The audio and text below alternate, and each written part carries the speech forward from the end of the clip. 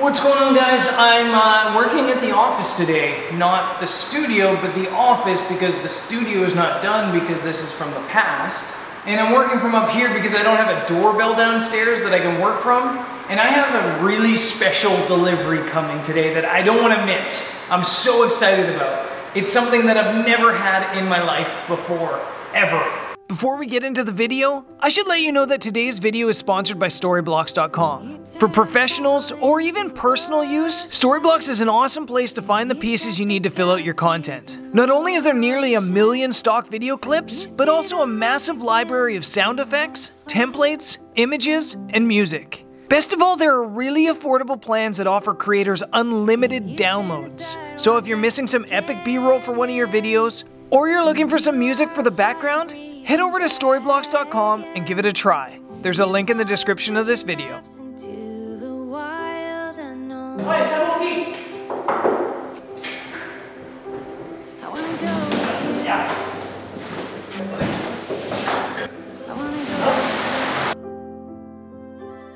Oh man, so good news and bad news. the good news is my printer arrived. The bad news is it's freaking massive. I got a discount on a printer here that was, I don't know why I got a discount on it, probably because it's so heavy. But the plan was to bring it down into the studio, not in the studio, but in the other room, and uh, use that as my printing room. But it took three of us just to get it through the window into here. so I have no idea how I'm gonna get it downstairs. I'm gonna have to find some friends to help. Problem is I don't have any friends.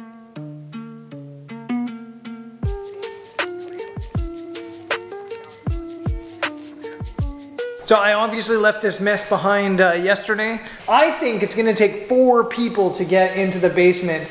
And even then, it's such a tight fit, I'm not, I honestly don't know. For now, what I'm gonna do is I'm gonna build the stand and the rollers and things like that down in the basement. And then hopefully by the end of this video, we'll have a working printer. It might not be today, but by the end of the video, hopefully we'll have a working printer.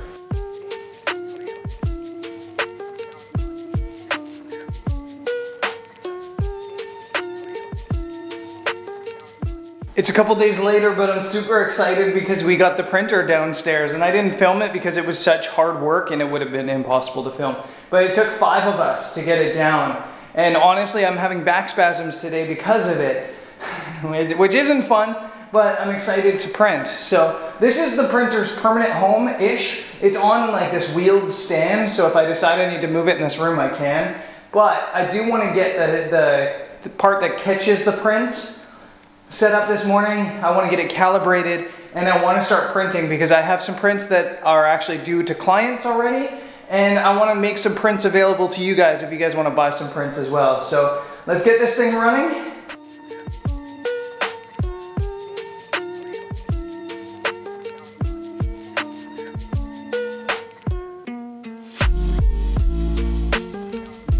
That was painless. After building IKEA furniture for weeks at the, at the new apartment, or months even, that was really, really painless. I need to find a way to power right now because as I mentioned in the other video, there's not a lot of power here, uh, especially with the studio sucking up so much. There's an outlet right there, but it's being used for something else and I'm wondering if I double up on the power, if it's gonna blow a fuse or something like that. But I think for now it'll be fine. So We'll use this, but eventually I need some sort of other power solution in here.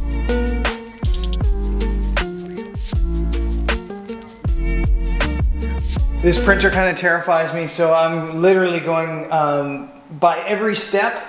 And the next step is push the power button. Whoa!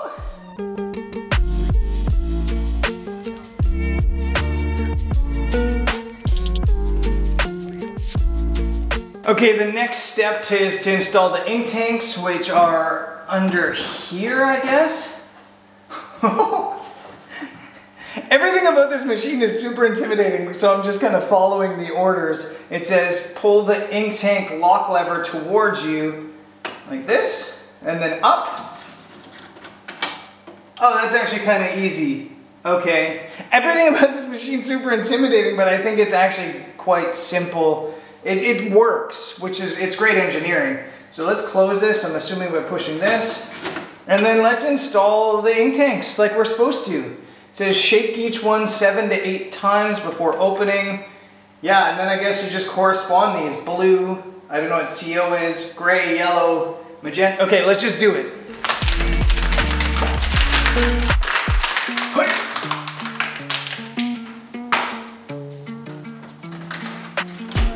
Bye. Oh, it's not clicking in. It's supposed to. Okay, and then the light is red. Is that a bad thing? It's supposed to be red. It worked. Let's do the rest of them.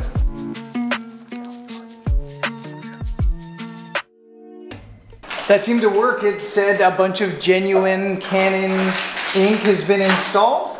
And now it says preparing the ink system. Next on the checklist is installing the printer head. Yikes. This stuff's so intimidating, but so far, like I said, it's been super chill. So hopefully this goes well.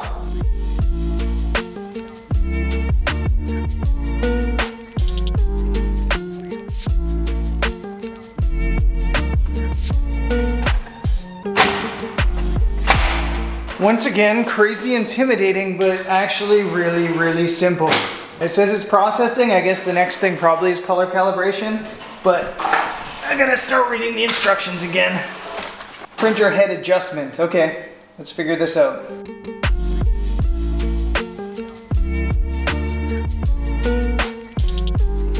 Okay, it sounds like it's working. It says please select the paper from the list. Feeding paper. I think it's printing. Hey, the printer's buzzing.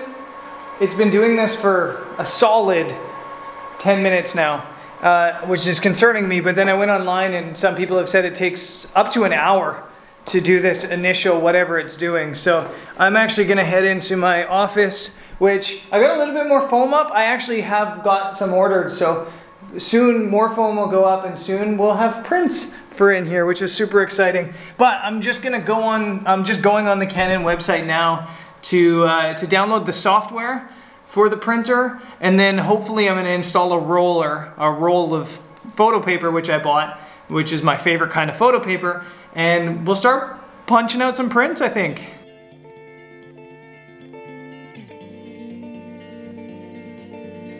Uh, the calibration or whatever it was doing is done. It printed off this color matrix thing. Looks good. Uh, I'm going to load photo paper.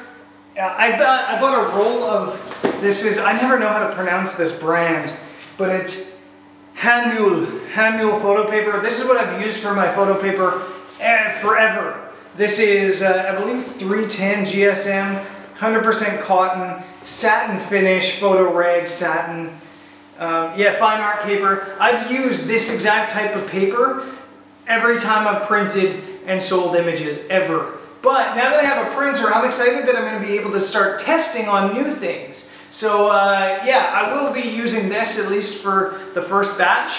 And then I'm going to start trying other prints as well. So I'm excited about it. Let's load up uh, a roll on this and start printing some stuff off for some clients.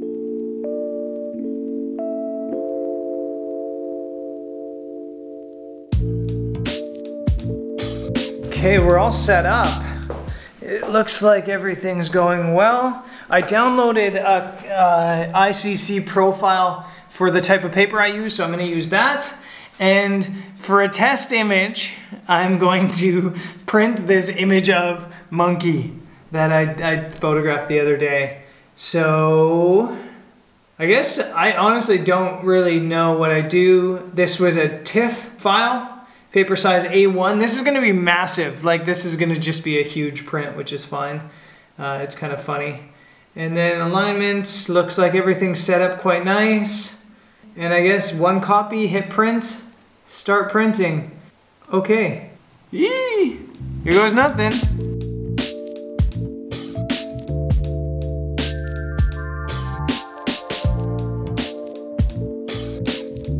Ah, it's printing, it's working.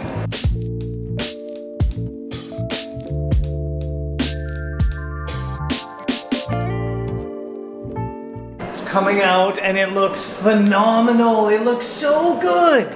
I am so happy with this. Um, I, I'm to do some inspecting with a magnifying glass. I have a cutting table that I've set up for a little bit here. So I'm to get to work now. Let's start printing off these client images because this is absolutely perfect.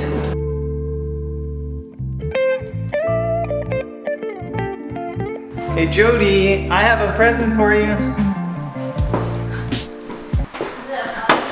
No, it's not a puppy. Oh, it's my baby. She's larger than life. You can see our house in her eye. Look at that.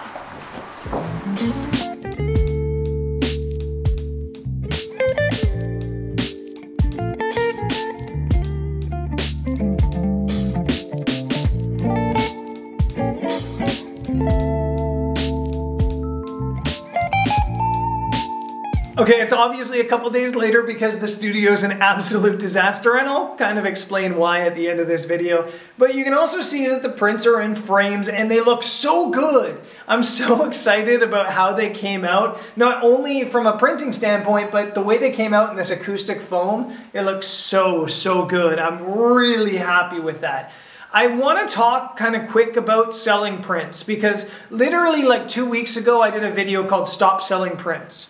And then now I'm going to try to tell you that I'm selling prints. And I don't want you guys to be confused. The title of that video wasn't to tell you to stop selling prints. It was to try to think of more efficient ways to sell prints or maybe ask yourself if you're ready if your business is ready for you to start selling prints. I as a photographer have been selling prints for the past couple years. But because of the nature of my life being a travel photographer and being nomadic, I only sold prints in a way that most fine art photographers sell prints, which is of the limited variety. They take an image, one of their favorites, and they sell a limited amount of those images as fine art photography. For example, this Mongolia image that's on the wall, there's only five of this ever printed and sold. So when somebody buys this image, it comes at a bit of a premium. It gets autographed, it gets a, a, a paper of certification, it gets numbered one out of five, and it has a much higher value as a result. And I never sold anything except for that because just, yeah, the nature of my lifestyle just made it really inefficient. But now being able to print myself, I'm now going to start offering prints to basically anybody who wants one. I'm to offer prints that are 8 by 10 or kind of equivalent depending on the dimensions of the image of whatever photo of mine you guys want. For 35 euros, you can have any photo at all that I've ever taken, 35 euros plus shipping. Now that I have my own printer, it is an efficient business, I think, to do this. So yeah, that's what's going down. You can uh, click the link on the in the description of this video to my little shop that I've made that shows the images you guys might want to buy. But you can also just head to my Instagram, find an image you love, and then send me an email and say, Brendan, I want this photo. Can you send me an invoice for it? And I'll send you an invoice for it, and then I'll also send you the photo. So, massive thank you in advance for supporting my little photography business, my printing business, which I never ever thought I would have. Um, on to the studio. The studio is an absolute mess because over the past three days where I haven't filmed, I've done a lot of work. I've installed some shelves in the back. I've installed LED lights on my desk and around the, the trims.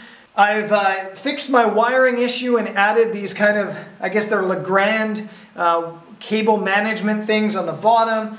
I've installed some plants. I've done a lot of work. And I didn't vlog it because I was kind of getting bored of myself. I was getting bored of these 10 minute videos, 12 minute videos of me building stuff and not knowing what I was doing.